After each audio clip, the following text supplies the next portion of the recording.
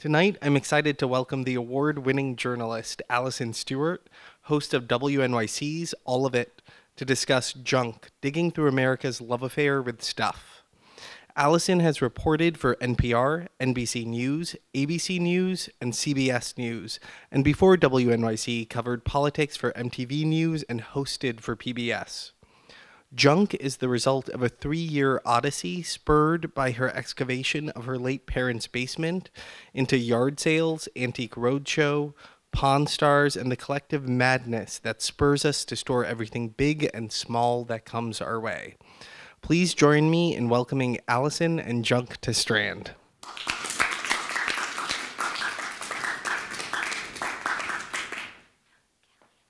First of all, you guys are stars for coming out in this horrible weather. I thought it was gonna be me and Severe and my friend Scooter just sitting here having having drinks. So I really appreciate it. And this is the only book event I'm doing for the paperback. So and it's kind of like a bucket list moment for me to be at the Strand. All right, I'm gonna put 20 minutes on the clock. I usually have a big clock behind in front of me at the studio, so I don't talk too long. Um, so this book started after I was having lunch with my literary agent. And, she, you know, you ever finish a big project and somebody goes, So what are you to do next? And you're like, God, I just finished what I, this huge thing. I had just written this other book that was about the history of African American education. And I thought it was the only book that I had in me. I was convinced that was it. This is all I ever wanted to write. And I kind of tried to figure out an excuse to tell her. And I said, well, you know what? You know, my parents passed away, and I really have to clean out the basement of their house. It's something that's got to get done. We got to sell the house. Uh, it's kind of a project. And saying that it was a project is the understatement of the century.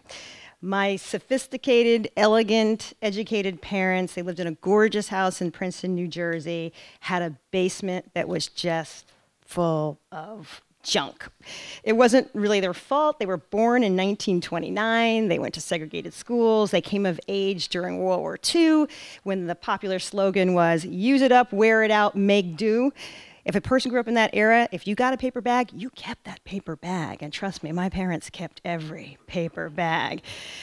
And I have to admit, a lot of the stuff in the basement was mine and was my sister's. There was this dollhouse that she was saving for the girls but the girls were, one was in law school and one was getting her MFA. So it was our fault too. The problem was the junk was intertwined with all these memories, and I really wasn't sure how to untangle that to get through it all. So I kind of went into, anybody knows me, I'm kind of a sunny person, glasses half full. So I went into it with glasses half full mode. And uh, I'm going to read to you a little bit about how, what happened the first couple days we tried to clean out the basement. Okay. Day one, game face on. I'd psych myself up. I was, this was going to be a long slog. I would eat the previously mentioned elephant one bite at a time, the elephant being the basement. I flicked on the light switch just inside the door. I walked down the curved stairwell, arrived at the final landing, looked around, and ran back up.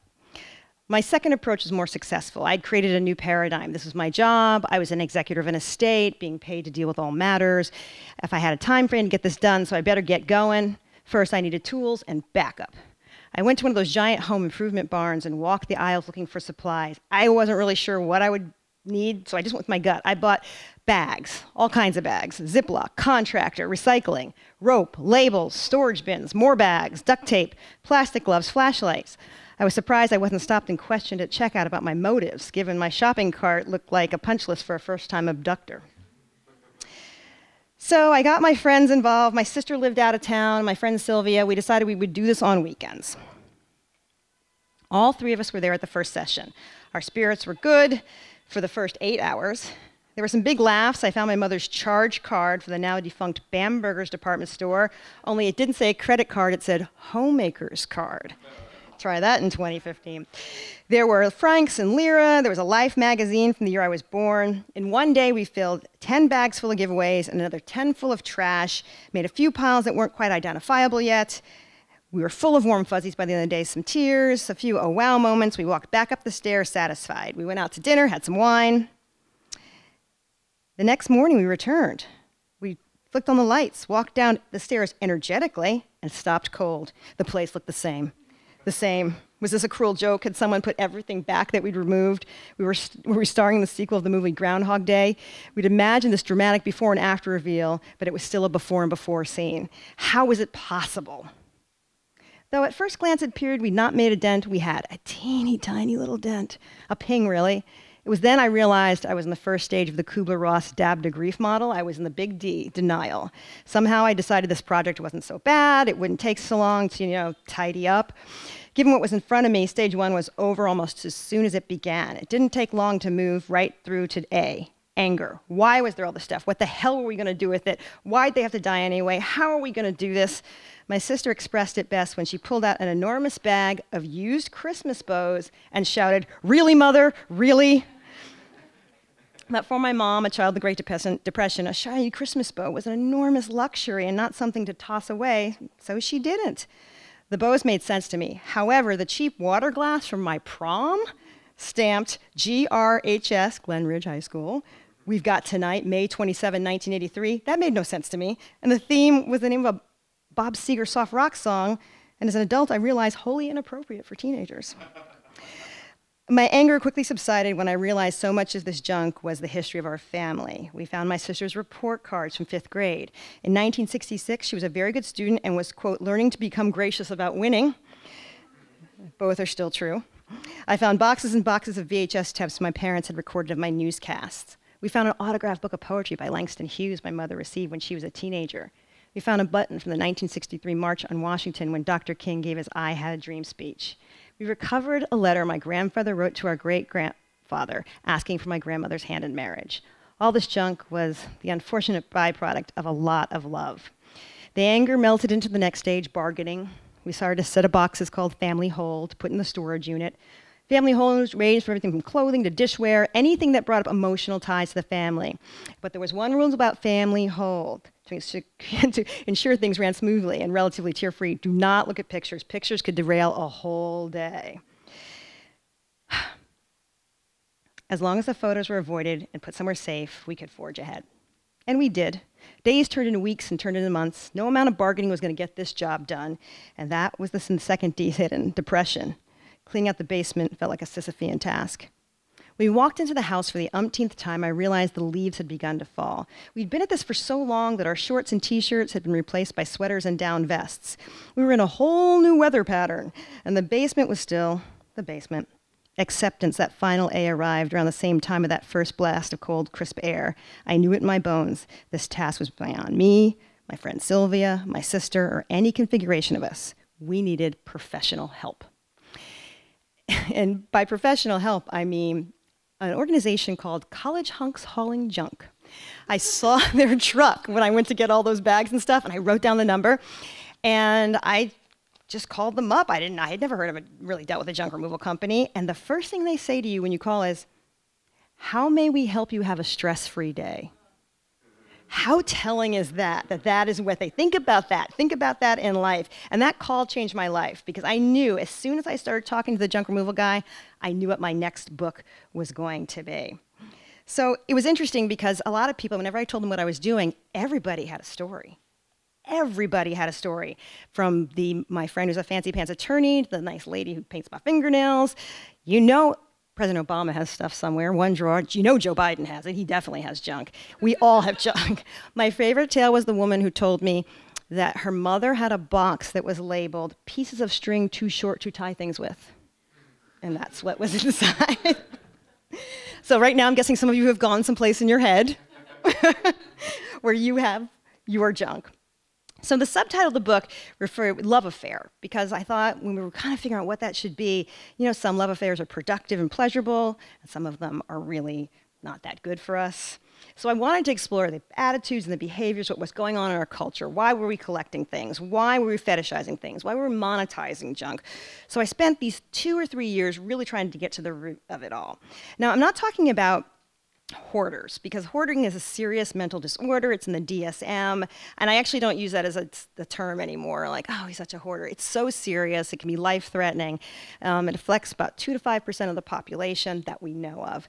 I'm, ta- I'm not talking about the other end of the spectrum, which are collectors, and collectors are specifically people who buy and sell according to mission, and this is what the psychologists say, quote, make rational choices and display items appropriately. I'm talking about the rest of us in between, whose closet is a hot mess, or whose garage you can only fit one car in if you have a garage. So, you know, one group that is particularly vulnerable is a group with ADD, ADHD, anybody who has problems with executive fun- functioning, and they call those people who are chronically disorganized. And here's the difference. This uh, psychologist told me if you had a hoarder and somebody's chronically disorganized and you sent elves in to clean both their houses, the hoarder would be horrified the next day, be upset, crying, it would be in distress, and would fill that house back up. The chronically disorganized person would be like, Yes, thank you. Show me how to do that. And it was interesting to learn along the way, talking to psychologists, that some of us are just more cogn- cognitively vulnerable to this. You know, there's this issue of human beings don't have internal ability to assess value. Dan Ariely, I don't know if you who he is, you know who he is. He does a lot of work with Duke University, and I'm paraphrasing what he told me, is that we don't have internal value meters to tell us how much things are worth. Rather, we focus on the relative advantage of one thing over another and estimate the value accordingly. We take our cues from things outside, external things, the Kelley Blue Book, and then sometimes your internal processing gets involved. I love my car. The Blue Book tells me it's worth this much, and that can lead to really off-base evaluations. Um, an amazing example recently was on Antiques Roadshow. A man brought a sculpture in for $300. He said he bought it, you know, at a yard sale. They assessed it for thirty to fifty thousand dollars. They said it was an amazing piece of primitive art. So um, the show aired, and then some lady called them and said, "I'm sorry, that's my high school project. that's not a piece of primitive art." Uh, but the thing is, the man wasn't upset he told a local reporter, I hated it when it was thirty to fifty thousand dollars because who wants thirty, fifty thousand dollars lying around your house? He now just keeps the jug on his coffee table and he's really happy about it. So the question is, what is the actual value of this jug?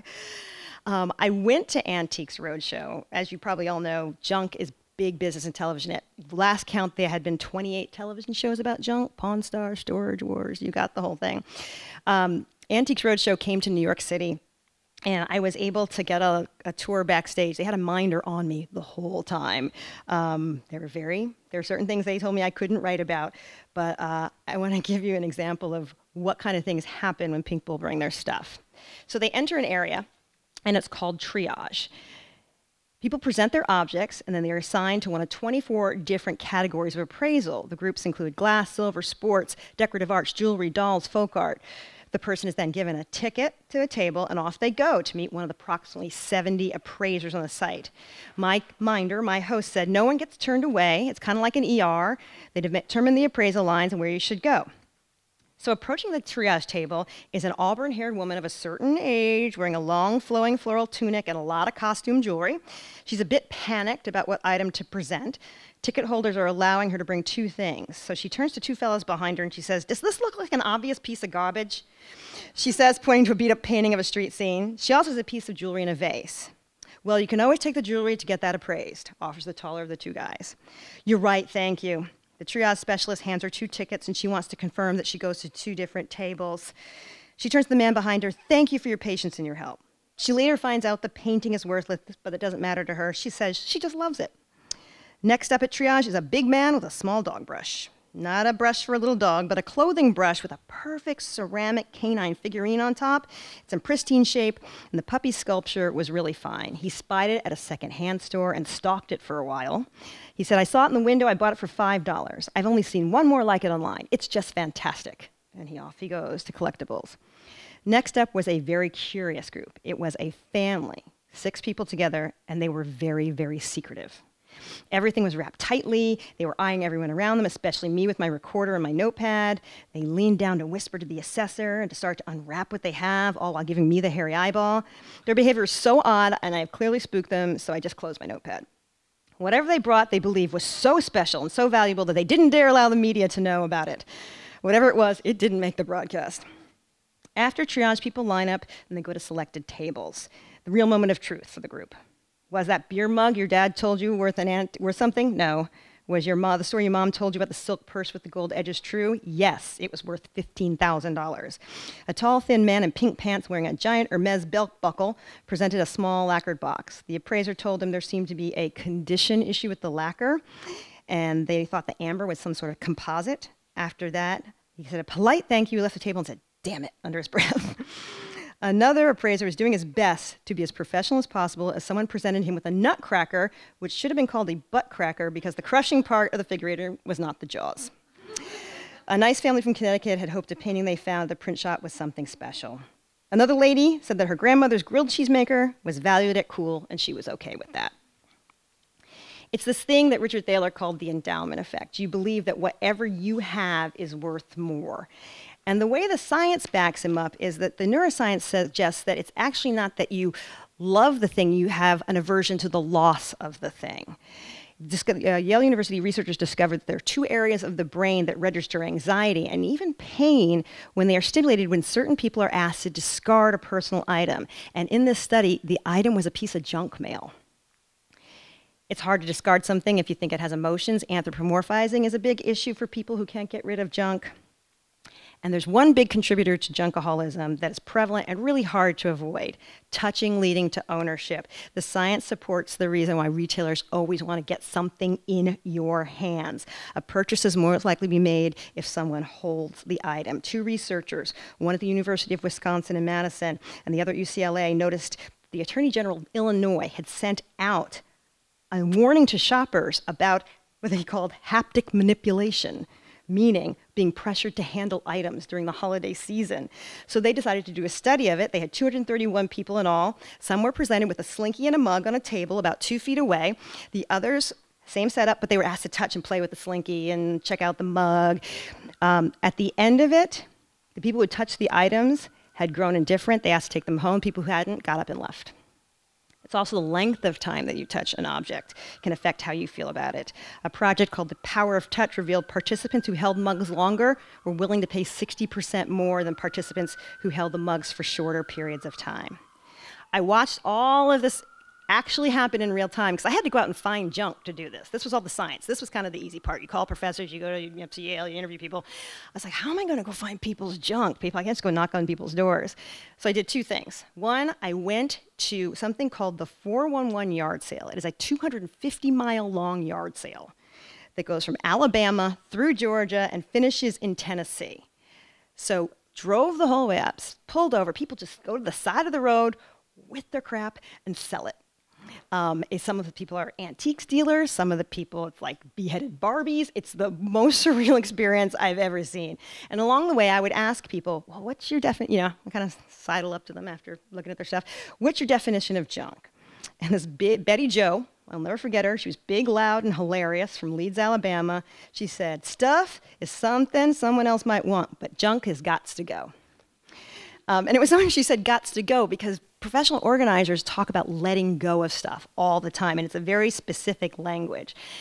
Uh, and of the professional organizers I interview, they talk about letting go because peep, it's not the thing a lot of the time, it's the memory associated to the thing.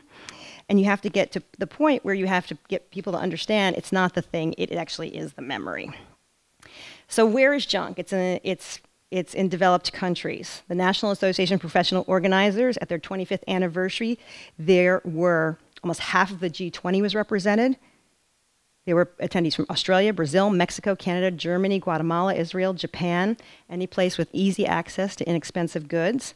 On the other hand, Cuba, there's no junk in Cuba. Years of embargoes have created an island of fixers and upcyclers. I'd gone to Havana, and my host cooked the most amazing meal on a barbecue he made out of a wrought iron chair, some wire with some charcoal in it, and it was like kind of his version of a Weber grill, and it was great.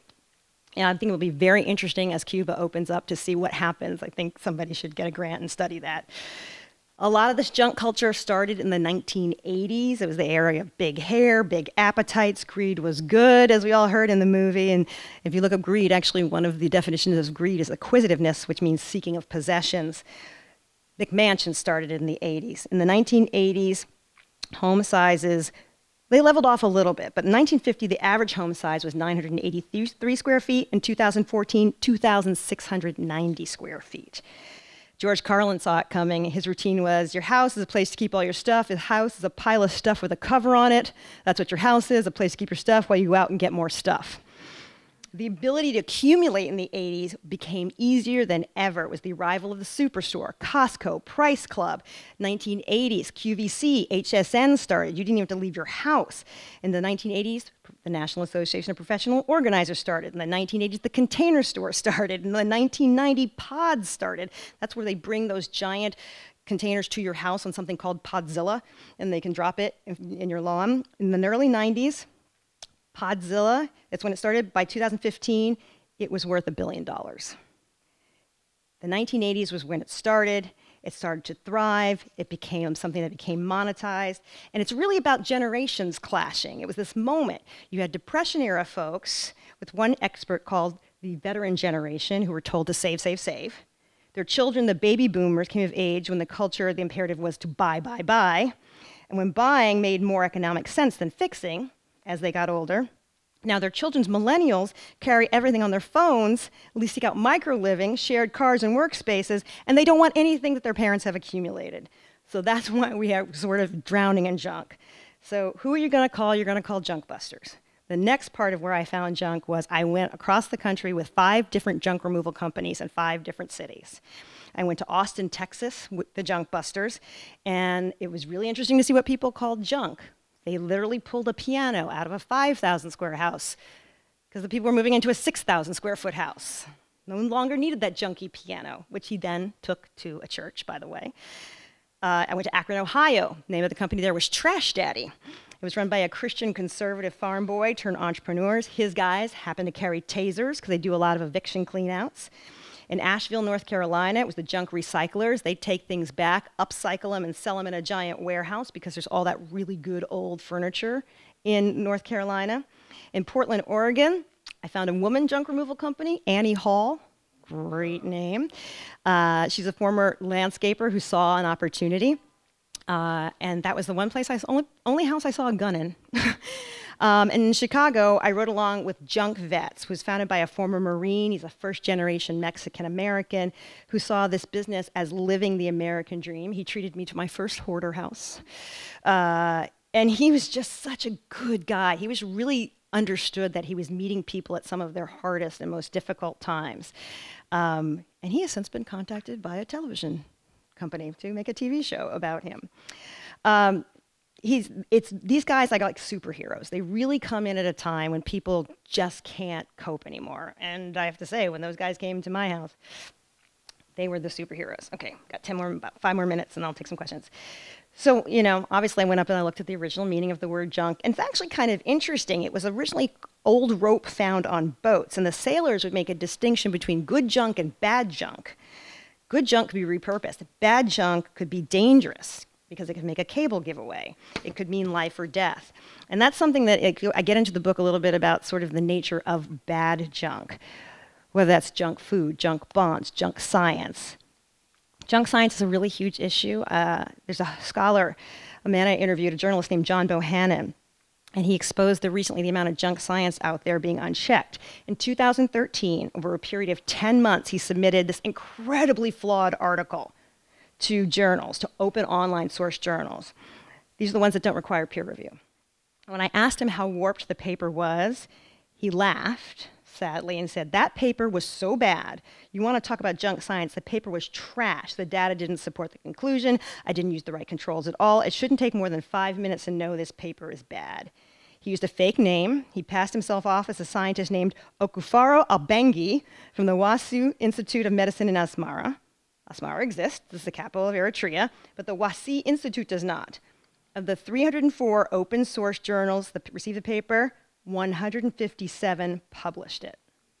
He was saying, wanted to tell me it was really depressing. We all want to trust science because science itself is based on trust. That's how this whole thing works. We trust each other. If I do an experiment, you shouldn't have to wonder if I did the experiment, if my analysis and data holds up.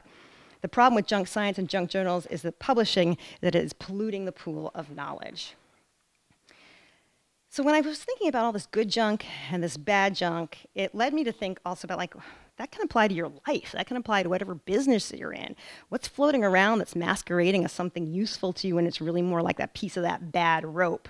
What do you have in your life that is getting in the way of making good pathways, making them bad pathways? How can you clean it up? You know, in my business, for example, there's good journalism and there's junk journalism. One professional organizer described physical junk this way, but it applies to mental clutter as well. Clutter is anything you don't need, use, or love. It's anything that gets in the way of your success. It's the excuses that hold you back from taking action. The brain spaghetti that leaves you feeling overwhelmed. Decisions left unmade, tasks left unfinished, crowded environments, all causing slow to no progress. So the truth is, we can't really make all of this stuff disappear we're kind of a little bit um, outrun by all the companies. But what you can do is think about your relationship to junk. You can manage your junk. This is what we need to do as individuals. It was interesting because I talked to Dr. David Tolin, who's a really well known researcher at Yale, and he was giving me all of his nice, pat answers about junk and all the things he talks about. And, and then I said something just sort of like, what about like just being mindful, you know?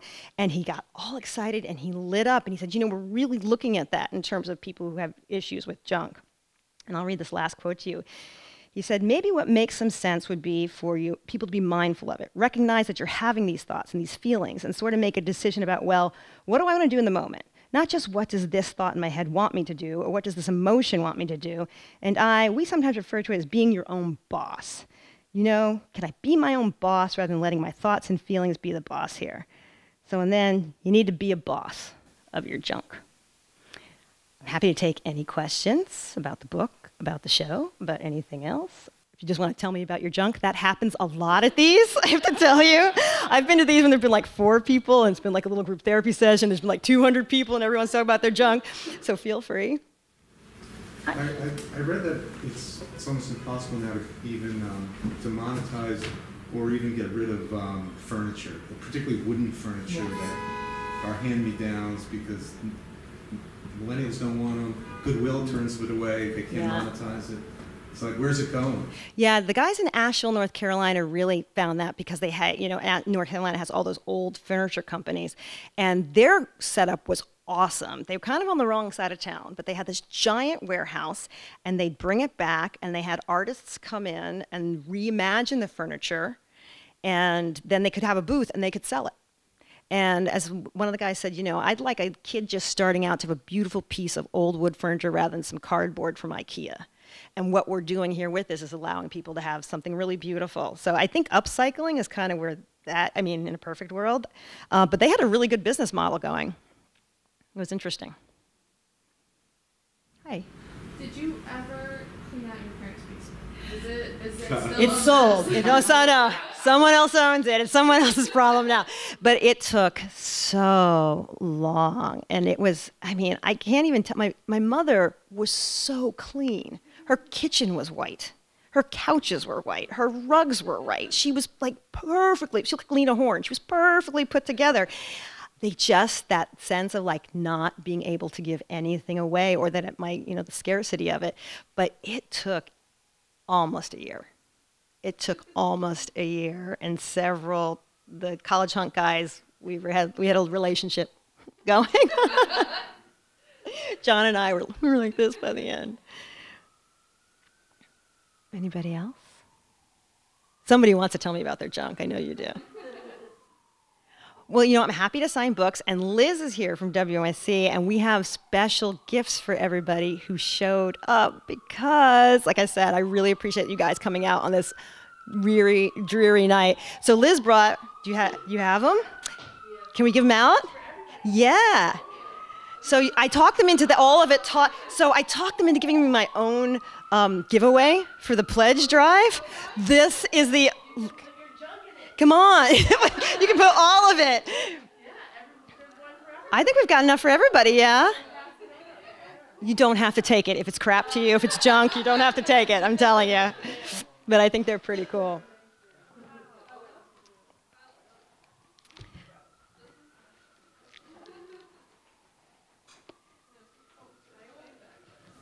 I, are you guys all, are you WNYC listeners? Are you WNYC? Yeah. You are? Okay, good. Who are my listeners? Yeah. My most people don't think to get rid of their books. Books, books are so hard. Talking about not uh-huh. monetizing stuff. Books are like they've been sold for like ten cents a pound. It's like it's like really crazy. It is crazy. Getting rid of stuff is so hard to do. It really is. I mean, that's one thing I which I saw with most of these, most of these junk, most the junk removal. Yeah, you can leave it a lot of too. I mean, I, I definitely that. most of these junk removal companies, most of them are really green, and they will figure out. I, I just, I, that was one thing I did. I said I didn't want to do. I didn't want to highlight any company that wasn't truly recycling. You'll notice there's not a really a big chain involved with one of the companies. I, I researched that. I did not want to have places where I knew they were So you dumping. some in the book, then? Hmm? So you have some in the book, you say? Yeah, these five different junk removal companies. And in New York, the people I found who are the best um, are the junk luggers. They really, they're very, they care very much. They take a lot of time to make sure that everything gets donated, um, or at least they try to keep as much out of landfills as possible. So if you need help, not getting paid, I would just say it's the junk luggers. Well, you guys, again, I said thank you so much for coming out. It's, it's like it's a tough night, and um, I really appreciate it. Thanks.